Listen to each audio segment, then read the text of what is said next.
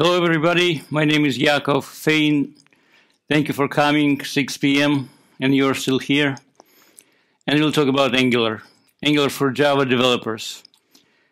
Uh, I do Java for 18 years, and the last three, four years I do front end as well, and Angular latest version for more than two years. Today, today's version is version 5 of Angular, and this is what we're going to be using in this uh, presentation. Currently, I also work on the second edition of this book. This book is available only as a MEAP program as we write uh, chapters. Manning publishes them. So this is a discount code if you want.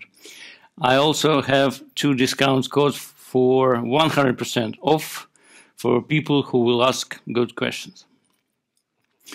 All the all the slides and everything is available online.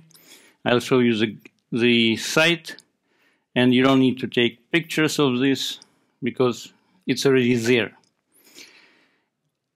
Couple of words about Angular in general. Uh, this presentation has almost no slides.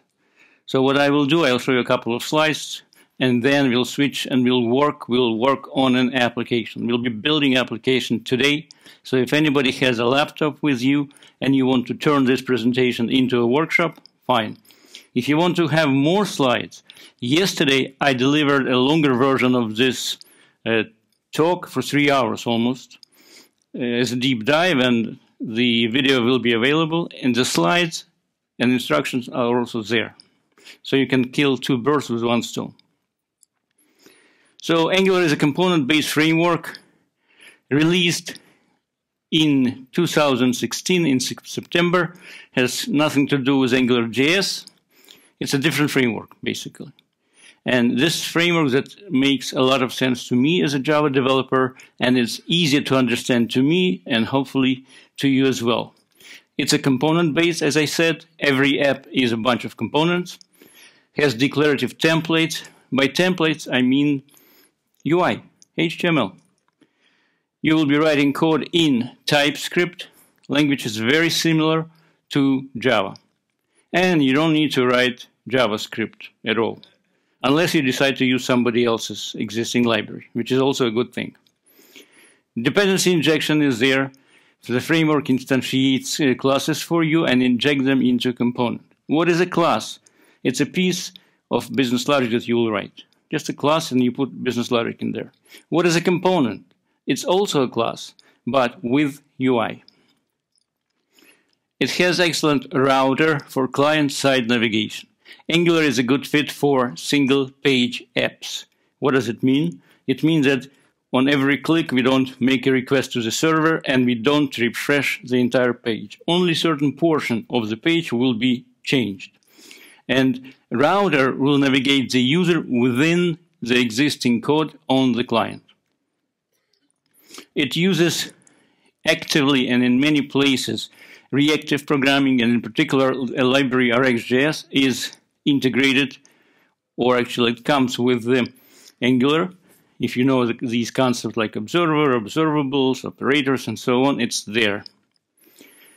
And as I said, you can write apps in TypeScript or JavaScript, but recommended and preferred way is TypeScript, and this is what we usually do. When you look at a website, you need to ask yourself, say we want to develop Twitter in Angular, or web designer gives you some design.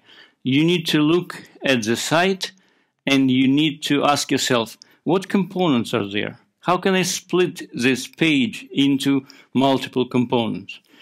And you, you come up with something like this when you have a top level component, a bunch of ch child components. For example, up on top you have a navigation bar. It's a separate component. On the left hand side I have a profile, a separate component, trends. Uh, for, for the new tweet I can create a new component and for the existing ones another one and so on. By the way, do you know that you can now use 280 characters in Twitter? I tested this morning, it worked. And do you know who is very happy about it? Anyone? Exactly, our president. President Trump should be happy today. It's like money from home, you know, 280 characters. Well, it's not a political talk, guys. Let's concentrate on Angular. And when the user click on a menu item, we want to change something within the page. Not the entire page, but something within the page. And there is an area, every app will have an area called router outlet.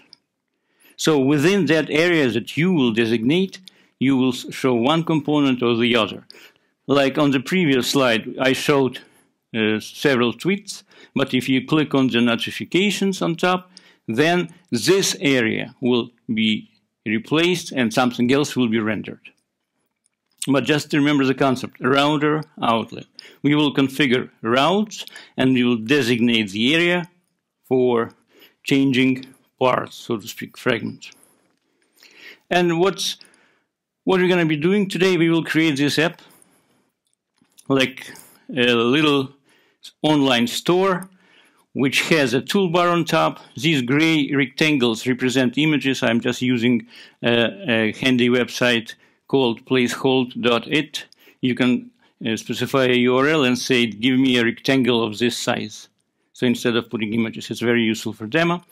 And there's some description of the product. I will be using JSON data. When you will click on the, on the title of the product, it'll show a different page under the toolbar uh, showing details for this product. That's the goal. On the server, for this presentation, I'm going to be using Spring Boot app. So Spring Boot will be serving JSON data about product, and Angular will be showing the data. So this app will be talking to Spring Boot.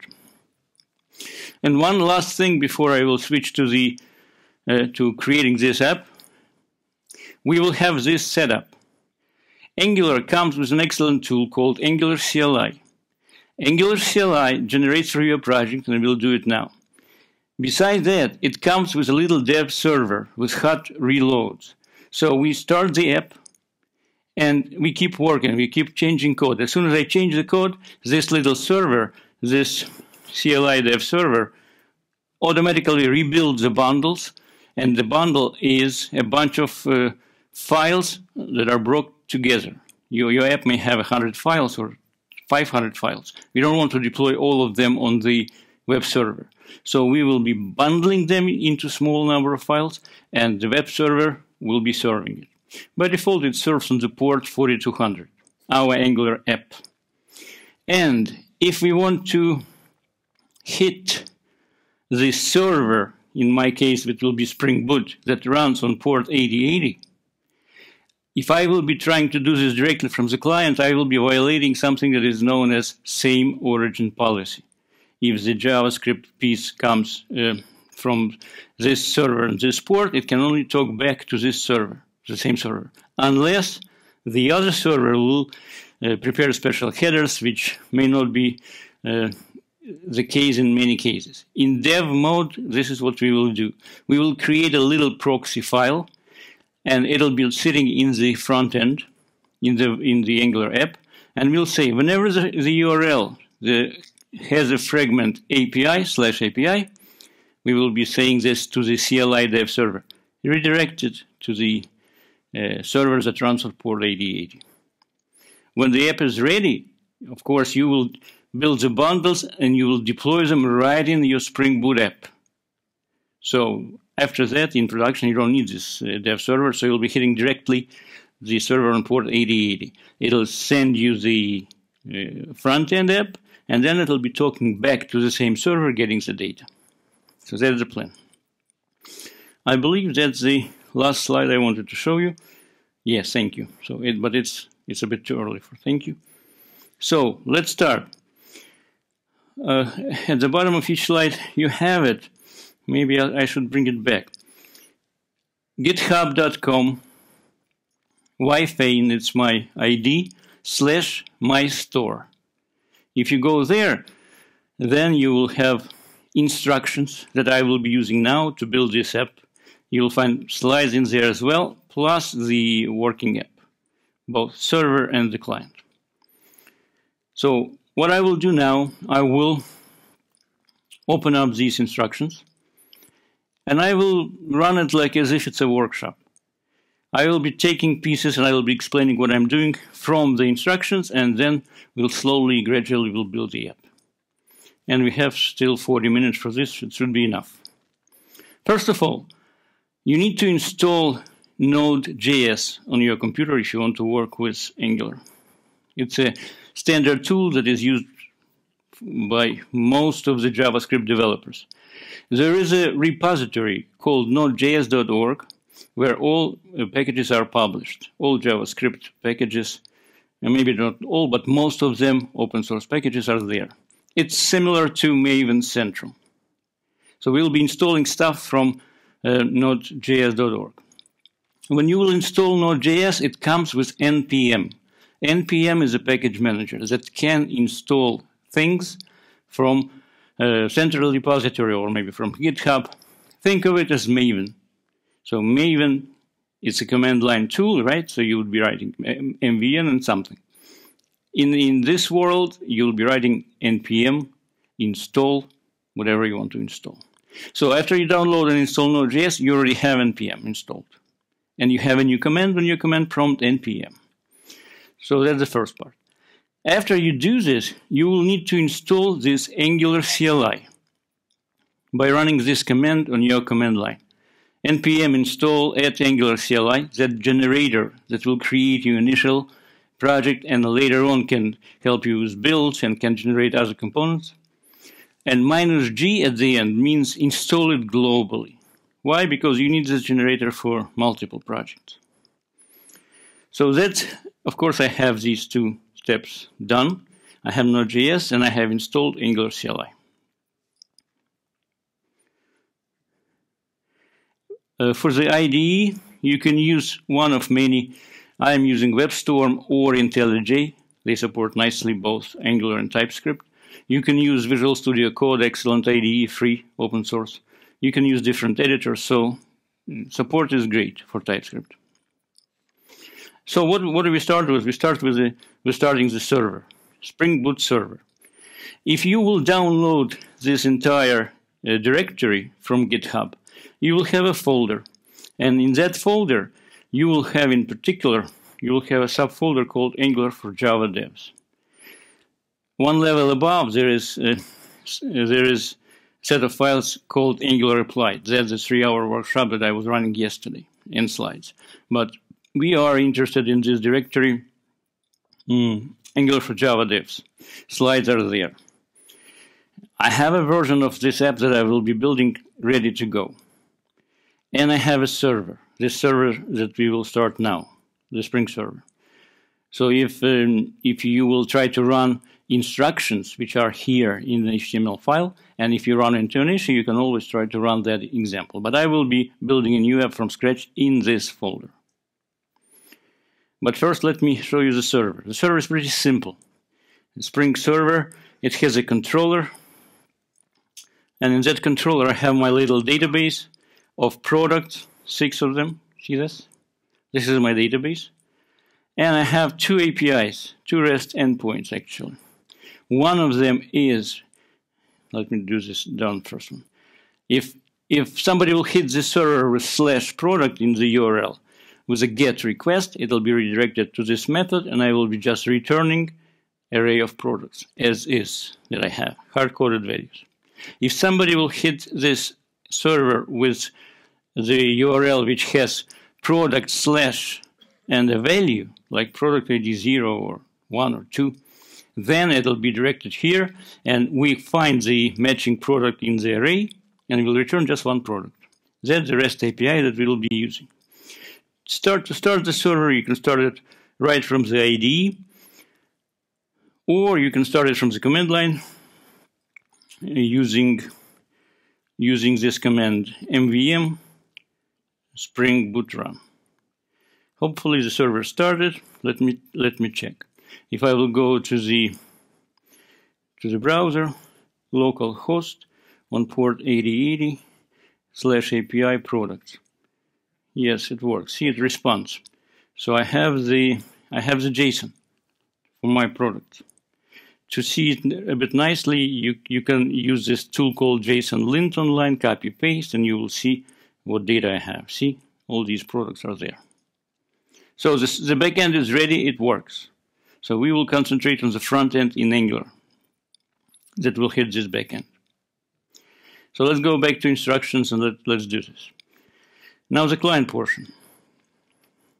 For this client, I'm going to be using, for the UI, I'm going to be using a library which is super popular in the JavaScript world. It's called Bootstrap. As a matter of fact, there are different UI libraries that you can use for, creating nice looking UIs. We use for real world project, we try to use um, library called Angular Material.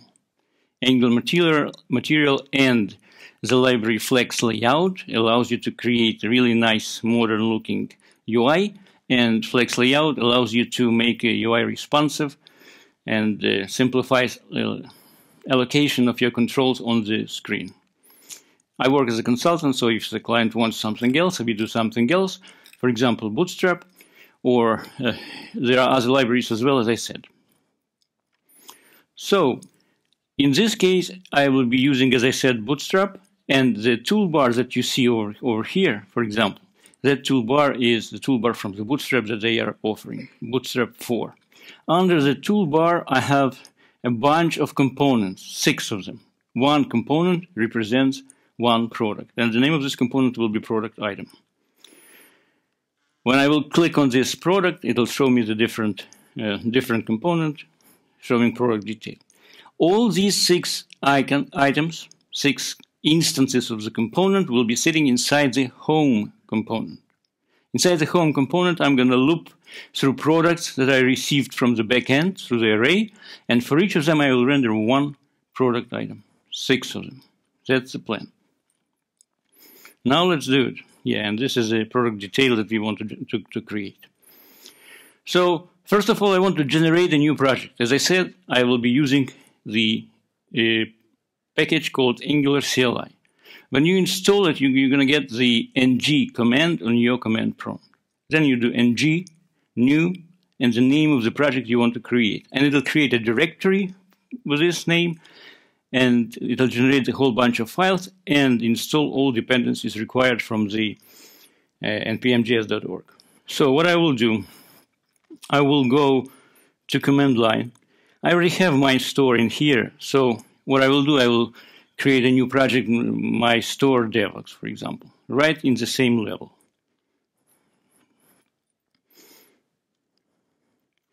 So we are in this folder. So what I will do, I will do ng new my store devox. It'll generate all these files. All these files were generated, but what it does now, now it runs npm install. The, uh, the projects in JavaScript, in many JavaScript projects, and in particular in Angular, they will have a file called package.json. It's similar, you can think of it as a POM XML in the Java world. It lists all dependencies that are required. The Angular itself is there, plus uh, some other dependencies, and uh, we'll open up this project and I'll show you what's in there. Meanwhile, it's still installing. Let me do this. I will go to WebStorm. It's also a product of JetBrain. I will open up this folder that was just generated, uh, which is which is where devox. It's somewhere here. Belgium, Angular for Java developers, and I don't see it here. Apparently I was in the, in the wrong directory, I guess. I, I, I might have been in the directory one level above. See, it's not here. Oh, no, it is here. It's in the Angular, right? Let me try again. Uh, open. Angular for Java developers. Uh, my store DevOps. Yes, it is here. So let me open it up. The, the project, I guess, yeah, it was already generated and all dependencies were installed already. So now we are in WebStorm. I'll open it up, just show you a couple of things. The project is ready and the package JSON is this. As you can see, I'm using version 5 of Angular. It was released uh, 10 days ago. Difference between 4 and 5 minimum. I mean, the performance improvements are there. The size, the size of the files is smaller, but in terms of migration, it's very easy. So the dependency section of the package.json shows you the dependency that must be in the deployed app in production. The dev dependency section of package.json is a list of dependencies that must be present on the developer's machine. They don't need for production. For example, there's a whole bunch of unit test files, library Jasmine. Karma is a test runner. At the, at the end, you see TypeScript. TypeScript will be compiled into JavaScript. Browsers don't know what TypeScript is, and they will never know. So our app, we will be writing it in TypeScript. It will be compiled into JavaScript, bundle up, and the browser will receive JavaScript code. So obviously for production machining, you don't need it.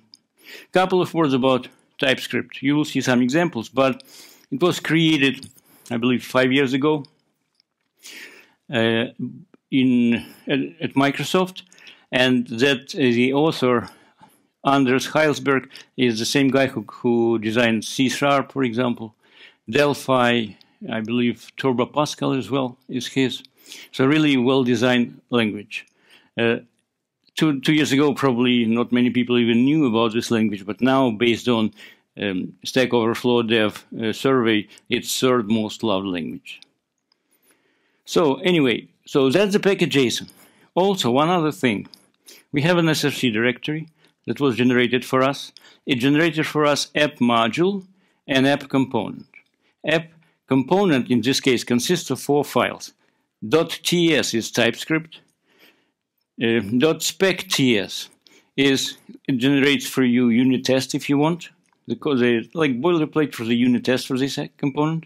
Then it has HT file for HTML and it has file for CSS. You don't have to have four files for a component. You may have inline CSS, inline HTML, but it still offers you clean separation between TypeScript code and the UI. Also generated for me a module, app module. That's the file.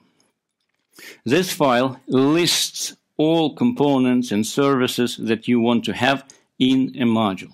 A module will be will be bundled in, a, in a, as a separate unit for deployment. In the declaration section, as we generate more components, we'll keep adding them, comma separated. So whatever components you want to belong to this module, you will list them in the declaration section. Also, a module may depend or need other modules. In this case, I, I write for the browser, so that's why I need to import browser module. Uh, if I decide to work with HTTP, I will add HTTP client module. If I want to work with forms, for example, I will add forms modules. All of them will be coming here. So what else I want to say? Yes, there is a file called angularcli.json. It's a configuration file for the project. In particular, if you want to bring in other JavaScript libraries, which I, which I will do now, I want to bring Bootstrap. It's a Twitter, Twitter styling library. I need to bring styles, CSS files from Bootstrap. And Bootstrap happen to depend on two other JavaScript libraries, jQuery and Popper. I'm talking about uh, Bootstrap 4. So I will need to add in my configuration file in the section hmm, styles, I will need to add one extra line for Bootstrap CSS. And in the section scripts, which is empty now, I will add those dependent JavaScript libraries. And then get started.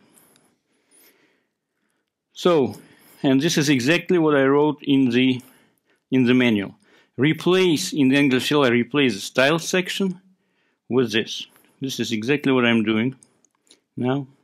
The style section I'm replacing because I need Bootstrap.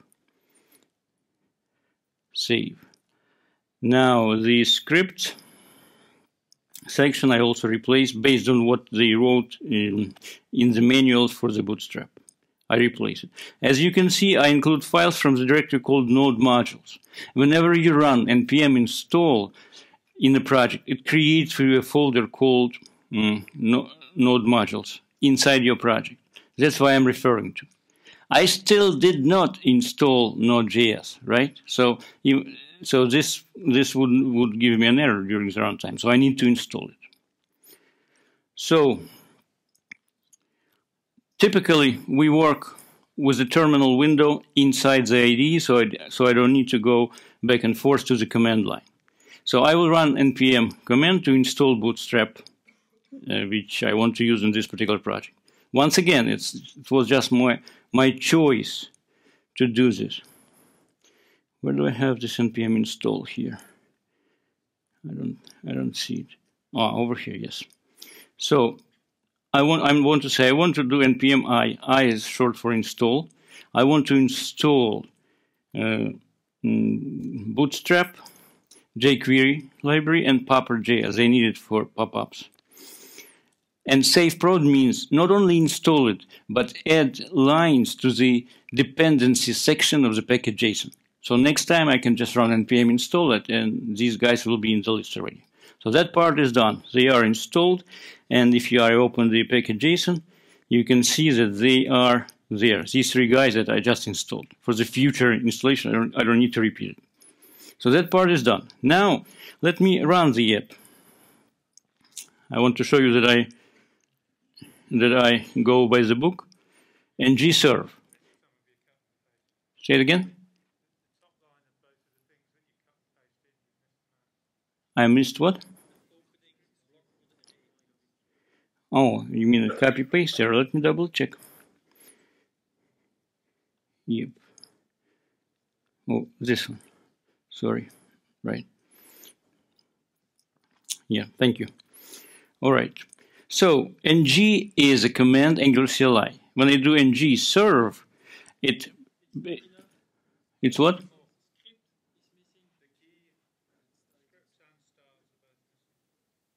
Oh, the script tags. All right. You know what? Let me do this. You know how to copy paste better than me. I can give you this. Control Z. Like this. Yes or no? No. This is strange. It, it shows me like as if I selected scripts, right? Now I did. That's the reason. All right. Okay. Now it's better. And the, the one above. See, this is the problem with highlighting in the Chrome. Now, hopefully, it's fine. So basically, you already know how to do the job. See, we just started the presentation and you're already helping me. Great. So, ng is a command for Angular CLI. When I do ng serve, it'll build the bundles in memory. And if I will add dash O, it'll also open up the browser for me on the port 4200. ng serve serve dash O.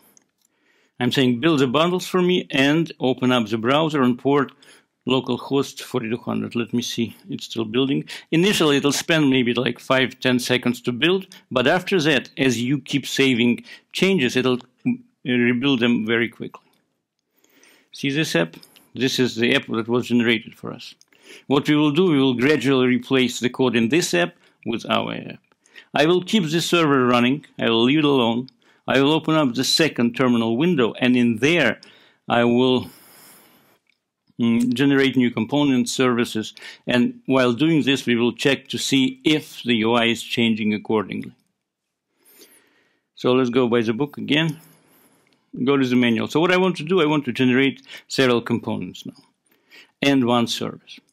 I want to generate home component, navbar component, I want to generate product item components. Within the home component, I will see these six product items. And when I click on the item, I want to use product detail component. I'll keep using Angular CLI for generating those. And G, G, G is for generate, C is for component. I could have written it in a long way.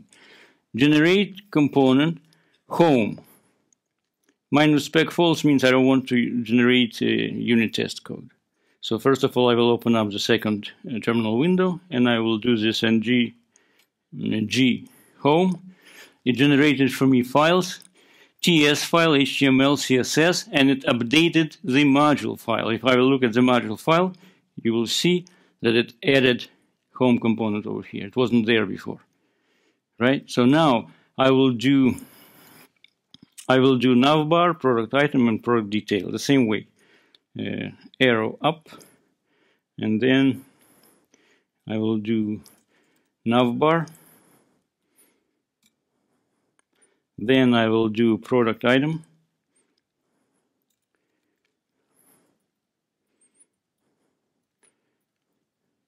Of course, it's, it's going to be boilerplate code, but it creates a folder for each of these components with all these files. It updates the uh, module for me, so it's, it's still pretty useful.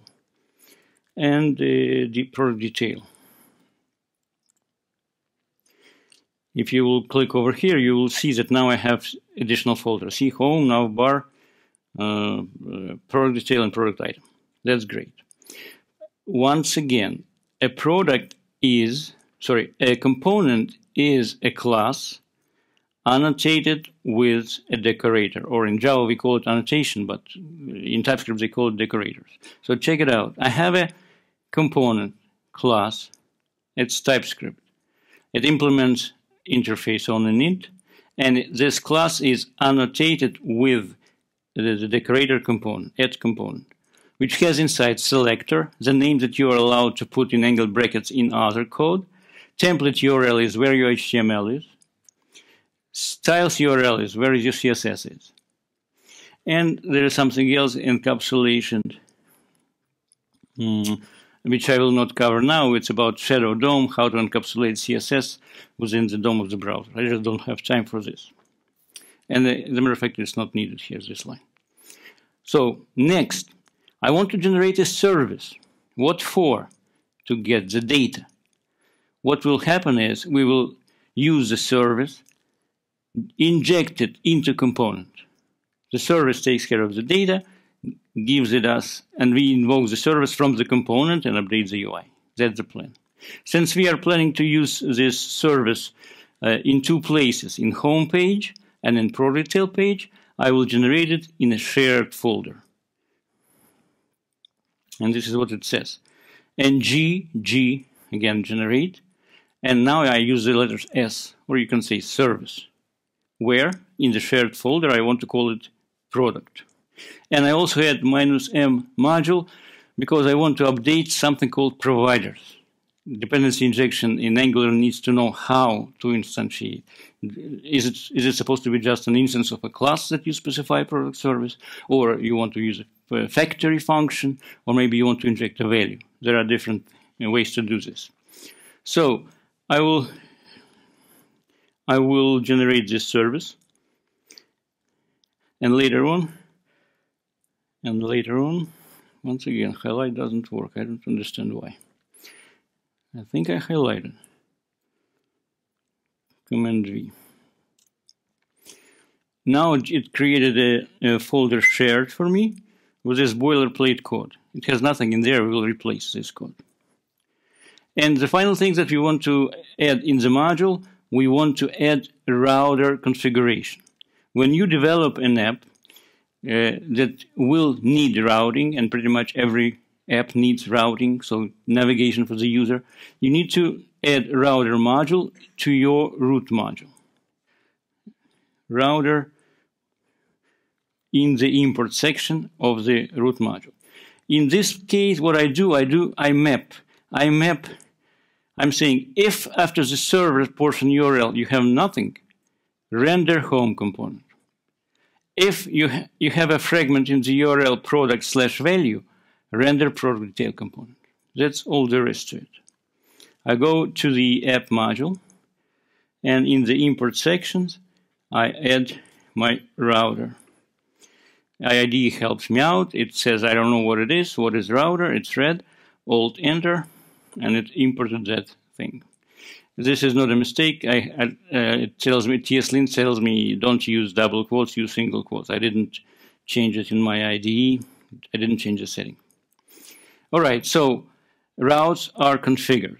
Now let's try to see if we can uh, start adding components. As I said, app components is a top root component, super um, top level component.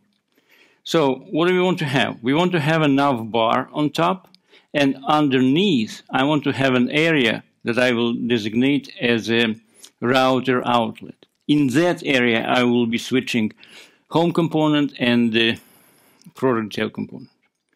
So replace app component HTML with this. Let's do this. app component HTML was generated for us. I don't need any of these. I will replace it. Save. If I will go back to this second console, you didn't see that, but it's, it was recompiled already. Let's see if this is the case. Let me go back to my store. Yep, it works. This, uh, this text comes from generated text for the component. When I was generating components, it generated this dummy uh, HTML. Home navbar works, home works. So our app works. So app component knows that I need to show navbar and underneath home works. Now let's replace this dummy text navbar with something that we want. What I did for this demo, I just went to um, Bootstrap site and they give you a whole bunch of different components. I picked in there um, the Bootstrap, uh, the navbar. If you follow this link, you will see this code, and this is exactly what I will be using. I will not be changing even one line. I just want to show you that, the, that you can use it from Bootstrap. I go back and I need to go to navbar component now and replace its HTML. It has navbar works, not anymore. All right, save. See, it recompiled, recompiled the code. I go back. Let me see how my app looks like. Nice. You see a toolbar up there? That's the toolbar from Bootstrap. Of course, you need to customize it, add the menu, provide clicks, and so on. But it is working fine. Now, home component. Mm, do I need to do anything else? No, nothing with, with, with navbar. Uh, no, I want to generate product service first. If you remember, our Spring Boot server sends us products, right? JSON. And the did I show you that the class in the Spring Boot service, I have the class product, and that, that's the structure of this class. And on the front end, I, I'm, I'm going to get the same structure. So what I do here, I, I want to generate a new class, product.ts, new TypeScript file. I'll call it product.ts. You, you need to write it down. And I will copy um, copy the interface. I want to define my type as interface, as TypeScript interface. I could have defined it as a class, but interface in this case just save me some. Um, it it will save me some uh, space or make the size of the generated code smaller. I was explaining this in the yesterday presentation. If you want, you can watch it. We just don't have time. I have 12 minutes and we need to finish the app. So that's kind of a value object, a type for the value object that will be uh, returned to us by the Spring server. And now the product service. We have we have the service generated. By the way, see it is marked as injectable, so Angular will properly inject it into components. So we want to replace the code of the product service with this. Uh, what do we do? In this class, we want to say I'm planning to use HTTP client. HTTP client is Angular object that knows how to talk to the servers. Whenever you put something in the constructor of the class, it means that you want injection. We are basically this line says just give me the object, the instance of HTTP client, so I can use it. You don't need to use a new statement because it's already there. And what I do, I start using it right away. See the variable HTTP client. I'm saying HTTP client get I am expecting product. I am saying hit the endpoint API slash API slash product. This is what we have in the Spring Boot server. And the second API on the front end, I have get product by ID. This guy is hmm, to to pick a particular particular product, just one. So what I will do, I will just take this code. I will take this code as is. and I will copy it over and I will replace the generated product service with this code. Hmm, see again, copy paste. All right, so that's my product service on the client. Recompile, rebuild. We don't, we won't see anything different because we, we didn't use this product service yet. Next, next, we want to use it, right? Uh, one other thing. Since I say I'm saying in this HTTP in this service that I am planning to work with HTTP, I need to declare it in the module. HTTP is a module of itself, so I want to say in my main root module that I am going to use HTTP client. So um, I can copy paste, or it's better to type because I I'll make a mistake that way. HTTP client. See. Uh, IDE helps you out, does the imports and everything. So I said, I'm going to use HTTP client module. So we're done with that. Now, product item component. One component that's supposed to show me, render the, mm, the product item. The product item component is right there. What do we have here? What do we have there? We are saying that you product item component, it's a class by the way, you will get a product given to you through the at input property. At input property is a way how the parent can pass the data to the child. So this product knows will should know how to render it. For now, it's just a TypeScript code, and in a minute I'll show you the um, the HTML. I will replace the generated code with mine.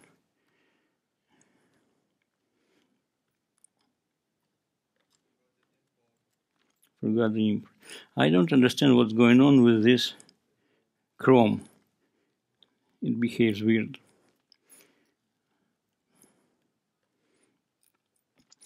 All right, this part is almost there.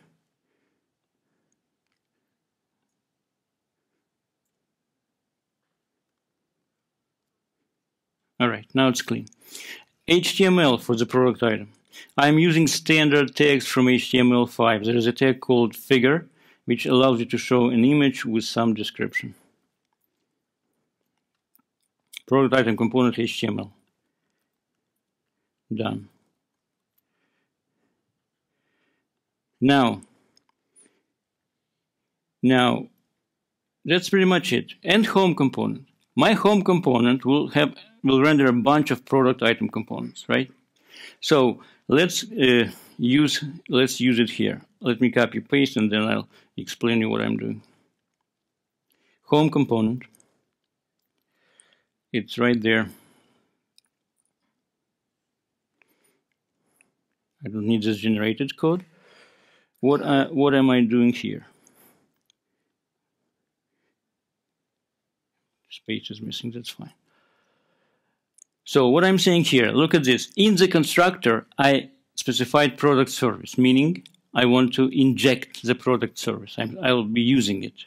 That product service will hit the Bootstrap server. And then after the constructor, Angular calls special lifecycle hook method ngOnInit. In there, I invoke on that service, I invoke get products method. And for HTML, in the HTML, I want to say, I'm going to get some number of products. I don't know how many.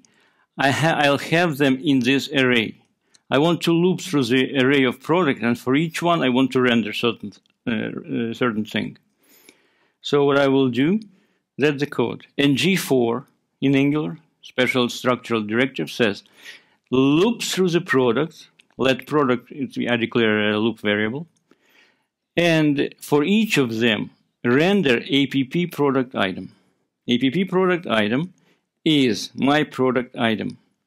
The selector name that was generated is app product item. That's why I can use it like a regular HTML tag. That's pretty much it. Loops through this and generate for me the, pro the product. Let me go and see if something changed. So my store Devoxx I see an empty screen. I used to have homeworks at least, not anymore. That's a bad sign. If you see an empty screen, it means that there is an error. And if you go to the console, you'll see an error 404. I knew about this error and it's in the instruction why it happens. The, this app was brought to me from the uh, web dev server that runs on port 4200, right? I'm hitting back the server on port 4200 saying, give me product, right? And I said, I don't know what it is because my products are in the Spring Boot server, right, on port 8080. So what I will do, I will create a little file, a, a little proxy saying whenever the, whenever the URL has slash API in there, redirect it to the other server that runs on port 8080. To do that, I will need to generate a new file, a new file, a little file, which uh, defines the proxy. I will create a file proxyconf.json,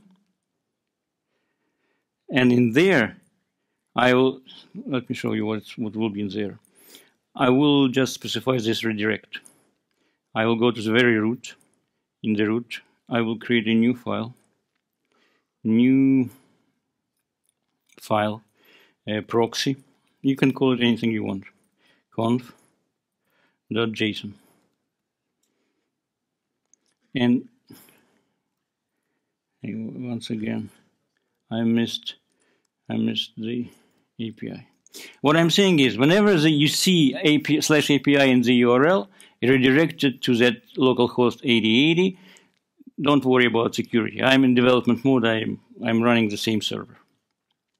So now to, to, to make this work, I need to say that I want to restart this app using this file, this proxy, ng serve, and there, there is a special keyword proxy config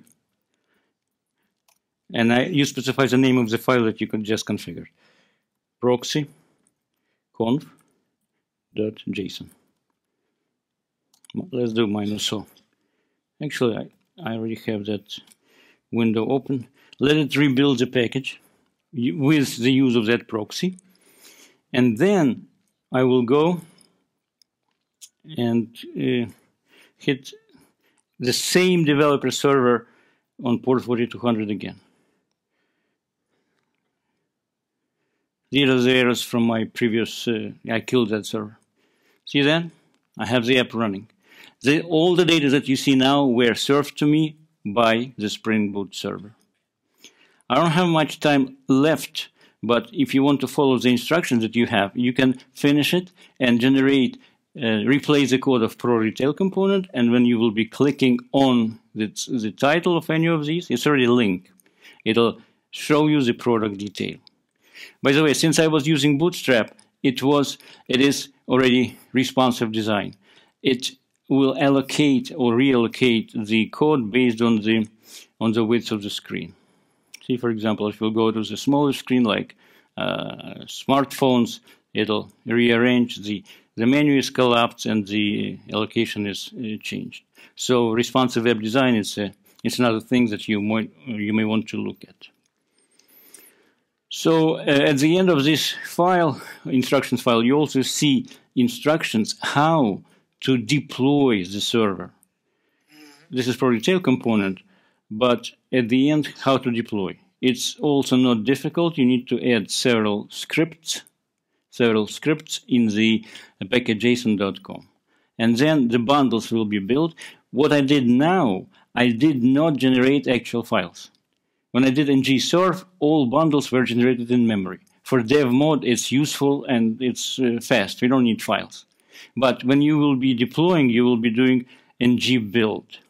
ng-build. It, it'll optimize the app, create the files, and we can write a little script that will copy the files under the Spring Boot server. So this is pretty much it. This is what I wanted to say. I have like a minute uh, for questions, or I can stay, you can ask me later. Do you have any questions? Anyone? Yes. Can we can we have multiple routers on the page? Yes, the answer is yes. They're called secondary or auxiliary outlets. You just have to give them names. Yes. Very good question. Uh, by the way, you, you, most of you will get this code if you want for the 100% discount of the ebook. Uh, should you have one or multiple modules? Definitely split your code into multiple modules. Angular supports so-called root modules that we ha have, but realistically, we would have so-called feature modules. For example, shipping module, billing module, and so on. Angular supports so-called lazy loading. If you want, you can lazily load some modules. Only if the user will click on the menu, then you will bring the code.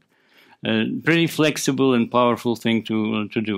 What you what you should do in the real world project, you should create the, the root module as small as possible. Only the core functionality of your app should be there, uh, and then uh, the user will quickly see the app. The rest will come from the feature module, and there are different mm, policies for lazy loaded. You can create preloaders, and it can load them in the background and so on. All right, thank you very much for coming. If you have any questions, just stop by.